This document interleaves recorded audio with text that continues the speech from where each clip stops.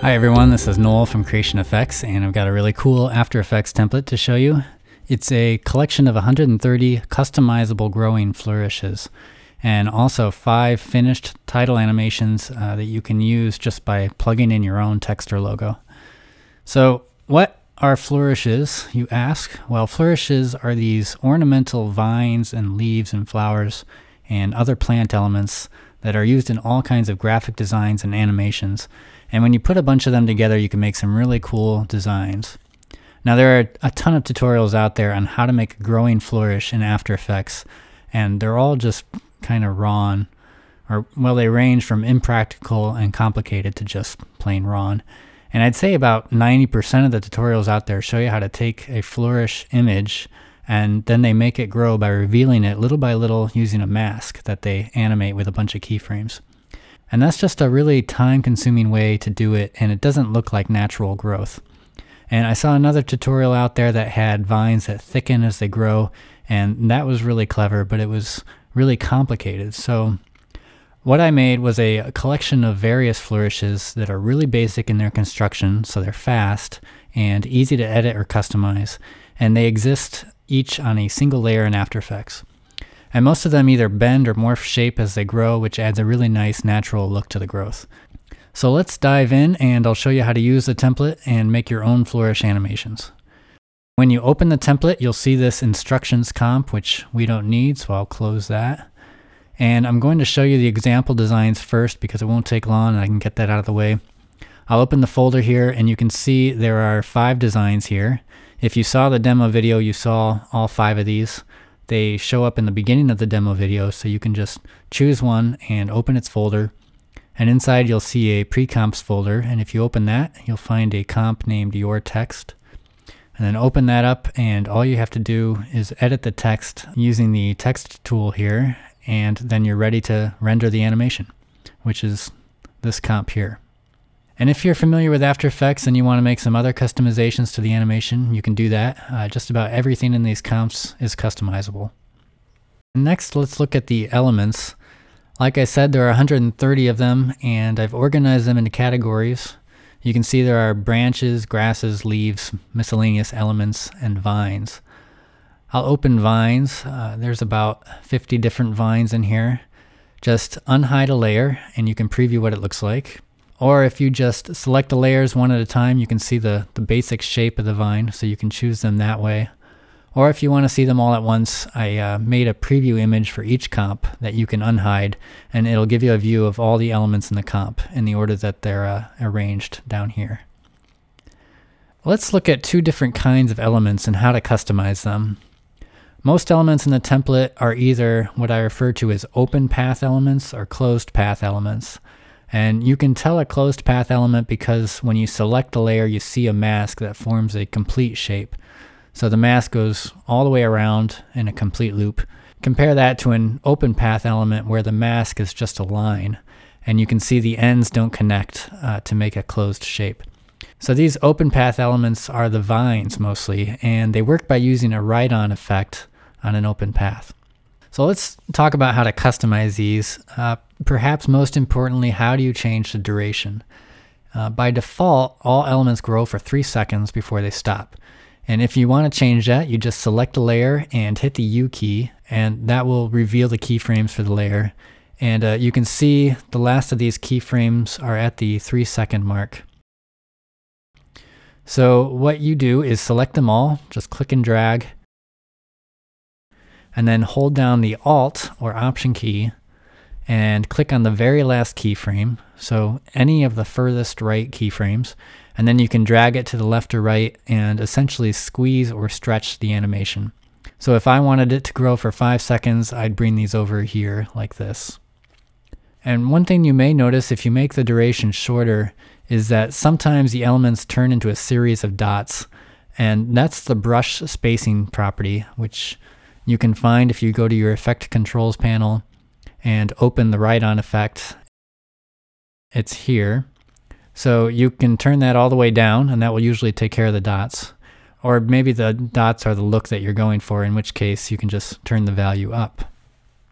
And if you want to change the color of an open path element, it's not hard. You just reveal the keyframes to the layer. So hit the U key. And then you'll see two keyframes, uh, which create a color gradient from the base of the vine to the tip. So you can go to either keyframe and change the color, or add new keyframes and, and get a variety of colors in there. All right, let's talk about brush size, which is how you make a vine different widths. And if I reveal the keyframes with the U key, uh, you can see this vine has some keyframes on the brush size property. If I go to the beginning, you see it starts thicker with a brush size of 30, and then near the end it thins to a size of 2.3, and then it climbs back up to 6 to create this little bulb at the end. So you can add as many keyframes as you want uh, to give your vines all kinds of details and variation. Uh, the one thing to note is that I made this template in CS5 and the write-on effect in CS5 has a brush size limit of 50, which is why none of these vines are very thick. But fortunately, if you're using Creative Cloud, the limit is much higher, so you'll be able to increase that and make some really thick vines. Now, what if you want to change the size of these elements? Uh, you can scale it down as much as you want, and that's no problem. But if you want them to be bigger, like if you're working in 4K and you want to fill the frame, you can't just scale the layer up because you'll lose sharpness. So instead, you can select a layer and then go to the layer menu and choose solid settings. And then you can enter in new dimensions for the layer. I'll just enter in times two and that'll double the size. So now it's bigger but the, uh, the width of the vine hasn't changed, so you may want to go into the brush size property and increase that as well. The last important customization I want to show you is changing the shape of these elements. For open path elements like this one, there's a few steps. Uh, the first step is to edit the path. So you can use the Move tool to select a vertex and move it around. And if you hold down Command and Option on a Mac or Control and Alt, I think, on a PC, uh, you can click to add new vertices, or you can use the pen tool to do that too. And so after you do that, make sure your keyframes are showing on the layer. So hit the U key if you haven't already. But I uh, also want to see my mask in here.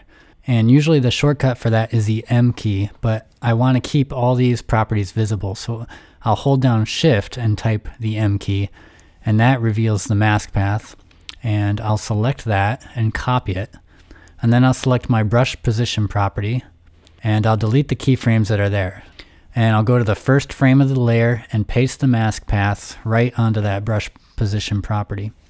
And that'll create a bunch of new keyframes, uh, which will only last two seconds, so we need to stretch them out a little to uh, match the duration of these other keyframed properties. And now we're almost done, but if you played this back, the growth wouldn't be very smooth, and it wouldn't look good. What we want is for the growth to slow down as it gets to the end.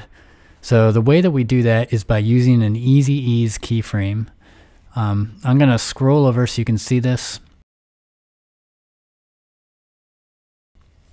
So right click the very last keyframe on the brush position property, go to keyframe assistant and choose easy ease in. And that will look okay, but it's still not slow enough for my taste. So what I do is I then go to the graph editor and I'm not going to go into detail about how the graph editor works, but I'll just show you what to do. With that last keyframe selected, just drag this handle over to the left a little to slow down the animation some more at the end of the uh, three seconds. And now that you know how to do that, you can probably guess how you would make a completely new vine flourish uh, you can just copy any layer and then delete the uh, mask path that's already there and just draw a completely new one with your pen tool. And then you would just copy that mask path to the brush property like I just showed you. Let's take a look at some closed path elements now. These are a little different because they don't use a write-on effect. Uh, this leaf element is a solid layer with a mask, and you can see if I scrub through, the mask changes shape over time.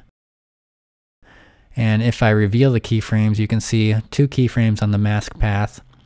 So if you want to adjust the shape, you can just go to the last keyframe and then edit the shape of the mask.